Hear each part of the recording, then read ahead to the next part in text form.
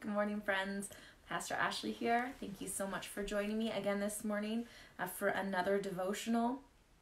Just wanted to mention again our website, fortsaskalliance.com, and our online gatherings page. Make sure that you keep an eye on that for everything that's uh, coming up. We have some exciting uh, youth related things rolling out hopefully next week, so make sure you keep an eye on that, as well as our Facebook page. Everything that's uh, coming up for Easter, Good Friday, Easter Sunday will be posted on our Facebook page as well, uh, so make sure that you keep an eye on that as well. I just wanted to say, loved hearing from you yesterday in the comments about how uh, this whole situation is going for you. Love to hear that again today. So if you want to let me know how you're doing, I'd love to hear from you in the comments or uh, in a private message as well. My email is adyoung at fortsaskalliance.com. You can email me through our website as well. Love to be praying for you, would love to be in touch. Uh, so it is cold outside today. It's been snowing for the past few days. I will admit that I once again was naive and thought that spring was on the way. I've lived on the prairies my entire life, so you'd think that uh, I would have learned by now what could happen in April, that minus 25 with the wind chill could happen in April. But again, I always have hope in my heart and I think, oh, spring's on the way and I'm going to be planting my garden soon. Uh, but yeah, it's been snowy the past couple days. I saw online that it is 17 today, minus 17 rather, minus 25 with the wind chill. And uh, that is unfortunate. It's cold. Uh, it's been gloomy for the past couple days. As I mentioned yesterday, we're on week three of self isolation. Uh, just you know, here in our home, uh, Josh and myself, our two cats, and uh, you know, it can feel like we're starting to go a little bit squirrely at times. And so it can seem right now that there is a lot uh, to be sad about, a lot to feel depressed about. And I've just listed kind of those surface things, not even talking about, you know, concerns over our loved ones' health, over our own health, over the economy, our finances. And so, yeah, there's a lot to wake up uh, every morning and just feel blue about. There's a lot uh, to feel anxious about. But uh, we are called in the Bible uh, to be people who are rejoicing. And so I've attached at the top of this video the two scripture links that I'm going to read today if you want to go back and, and meditate on them uh, on your own time. But first, we're going to go to Psalm 118. And we're going to read Psalm 118 24. This is the day that the Lord has made. So, this day, right here uh, in Fort Saskatchewan, in Alberta, or wherever you find yourself, uh, this day where it's minus 25 with the wind chill and we're on our third week of self isolation, this is still the day that the Lord has made. And we will rejoice and we will be glad in it. And so we see here um, a directive in Scripture for us to be rejoicing, for us to be glad in this day that God has made. And then we're going to go over to Philippians chapter 4, verse 4. And it says, Always be full of joy in the Lord. I say it again, rejoice. And so, again, you might be hearing this and thinking, uh, you know what, I don't feel like I have anything to rejoice over. I feel overwhelmed. My kids are driving me nuts. I've been with my spouse nonstop for three weeks now, and we're starting to get on each other's nerves, or I'm stressed and I'm anxious. I don't know how I'm going to pay my bills. There are so many things, like I said, uh, for us to just feel blue about, for us to feel concerned about, to just that kind of sit in the back of our minds, even when we're doing something else and they just um, gnaw at us. But, friends, God knows best. We know that. We know uh, that He made us, He designed us, and He knows what's best for us. And He is calling us to rejoice day by day in Him.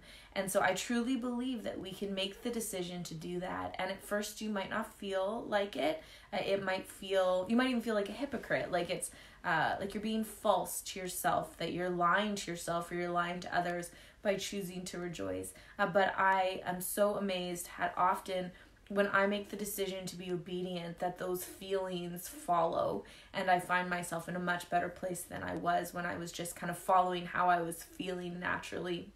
And so I think uh, that there's a few things that we can do uh, to be intentional in our rejoicing. And, you know, I know that uh, sometimes when someone is going through something hard and I've said to them, you know, that's really rough, I'm sorry. And, and they've responded with, oh, well, someone out there has it worse and and I get that it's good to have perspective, right? You know, a lot of the troubles that we go through, uh, a lot of the troubles that I go through are, are mild in comparison to what a lot of people have dealt with uh, throughout history or are dealing with in other parts of the world. But I think that um we can sometimes not actually deal with the root issue that way. You know, grief is grief, sorrow is sorrow, pain is pain, and uh, it's important to look to God in that, not to be looking to, oh, well, someone else has it worse, and so I'm just going to not pay attention to what's going on with me. Uh, but instead, like I said, perspective's good, but instead, in those moments, uh, to stop and to be honest with God, say, Lord, you know how I'm feeling. You see my heart, you see my mind. Um, and so instead of just ignoring this thing, I want to offer it up to you. And again, I want to ask you what you have for me in return. And so I encourage you uh, day by day uh, to make a list, to start just in the morning. And the first thing when you open your eyes, think of a couple things that you're grateful for.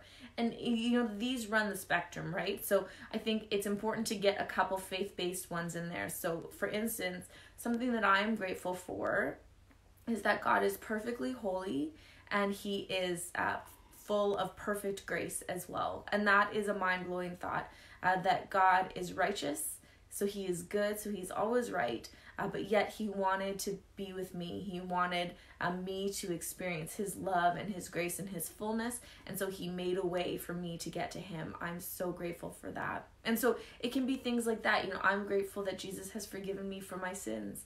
I'm grateful that his Holy Spirit fills me and gives me the power that I need uh, to do the things that he wants me to do. And so list a few of those. And then you can look to your material blessings as well blessings that come in the form of people and relationships. Uh, so, you know, I am thankful for my husband. I'm thankful, you know, that we um, have been together for almost 12 years in August. I'm thankful that he's patient with me. I'm thankful that he's kind to me. You can just start listing things like that and make sure you tell the person as well. Um, and then, you know, I'm thankful for, and I might get made fun of for this, but I'm thankful for my cats. I have two, I have two cats and they bring so much joy into my life and I look at them and I just think um, you know I'm so grateful that I'm able to take care of them that I'm able to uh, have them in my in my life and so just look around your your life like that and you will find so much to be grateful for and I'm grateful for my friendships as well. I'm grateful for friends who uh, know me, who uh, know my uh, all of my junk, and who love me anyways, and who bear with me, warts and all. And uh, so, yeah, make that list, but then make sure that you let someone know about it. So, try to send a couple text messages today, or if you're a phone person, um, make a couple phone calls and let people know that you're grateful for them, that they make your life better. And you will be amazed at how, when you practice gratitude, about how when you're intentional about the things um, that are in your life that are good, how that joy will just start to uh, bubble up and how you'll just notice it more and more and more. So I would love to know, even in the comments below, the things that you're grateful for. I'm going. I've listed a few of mine. I have so many more, uh, but I'd love to hear in the comments the things uh, that you are rejoicing in uh, today because of God's goodness to us. And so that wraps us up for another day, friends. Again, I want to just say uh, if you're watching this and you don't know Jesus as your personal Lord and Savior, uh, but you want to, or if you have questions about who Jesus is and what he means, uh, I would love to be chatting with you more about that. And so, again, if you go to our website and uh, you hit the About tab, you'll see uh, a staff button that you can hit, and our staff members are listed there. Our pictures are there, and you can just click on the picture to send us an email. And I'd love uh, to be talking with you more about that because, friends, Jesus truly is the answer. Uh, in Him is life and peace and joy forevermore. And so, I would love to be dialoguing with you about that. So, again, please join me tomorrow morning, 10 o'clock uh, as we do another one of these devotionals. I've loved connecting with you this way, and I hope to see you tomorrow. So, friends, my prayer for you today uh, is that you do truly rejoice in who Jesus is, in his presence in your life, and in the bounty of blessings that he's given to you. So, today, uh, go with God, friends.